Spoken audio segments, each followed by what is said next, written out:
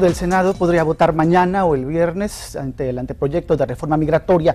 El senador republicano Marco Rubio, que negoció este proyecto de ley en entrevista con nuestras cámaras, se mostró optimista ante la posible aprobación de la iniciativa por el Senado esta semana. Y nos acompaña precisamente para hablar de esto Cristian Ramírez de Alianza San Diego. Cristian, buenas noches, gracias por estar con nosotros. Ahí estamos. ¿Qué te parece si vemos la entrevista primero, luego comentamos? Muy bien, Marco.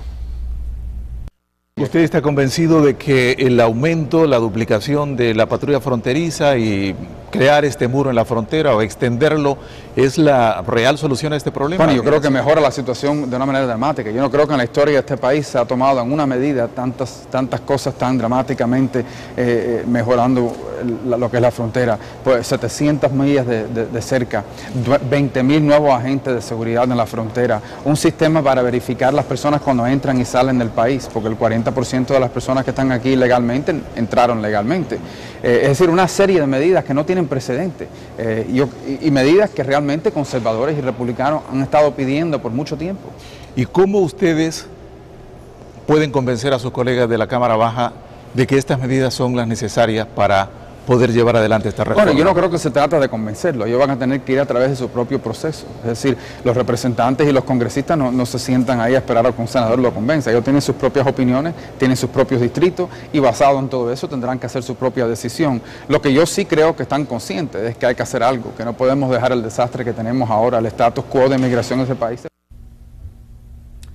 Bueno, Cristian, ¿qué te parece? Utilizan la palabra necesario, que es básicamente están pidiendo 40 mil agentes en la, en la frontera eh, valla adicional. ¿Es realmente necesario esto para poder lograr el proyecto de la reforma? ¿Tiene que ver una cosa con la otra realmente? No, la verdad no se entiende, no es comprensible cómo de pronto el Senado, que debe de ser eh, la Cámara más sensata dentro del Congreso, arroja una cifra excesiva de 40 mil agentes de la patrulla fronteriza a la franja divisoria que ya es segura. San Diego es la segunda ciudad más segura de la Unión Americana, El Paso es la primera ciudad más segura, es decir, el número de agentes que envía el Senado o que propone enviar el Senado a la franja fronteriza es excesivo, es caro, es innecesario y no tiene nada que ver con la necesidad urgente que hay en el país de una reforma migratoria. Bueno, por un lado es lo que dice el Senado, sin embargo falta que hable la Cámara Baja. ¿Qué podemos esperar? Han sido todavía mucho más reservados. Ha habido una postura muy extrema por parte de los legisladores en la Cámara Baja, pero hay que recordar, Marco, de que es un partido republicano fraccionado que tiene también la obligación de responderle al voto latino, ya que el próximo año se reelige de nueva cuenta la Cámara de Representantes y el voto latino va a ser fundamental en cómo se va a posicionar el tema político en la Cámara Baja. Así que hay esperanzas, yo insto a la comunidad a que sigamos motivados a seguir luchando por la reforma migratoria.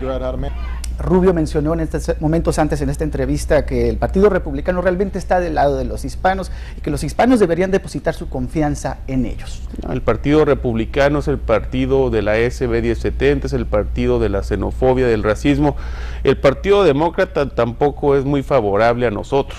Así que esto no se trata de tomar lado de un partido del otro, se trata de impulsar una reforma migratoria, pero no vamos a olvidar que ha sido el Partido Republicano el que ha obstaculizado este proceso y el senador Rubio de particular que ha impulsado esta necesidad de militarizar la frontera a cambio de la, del camino hacia la ciudadanía. Bien, gracias Cristian por habernos acompañado. Cristian Ramírez de Alianza San Diego. Vamos a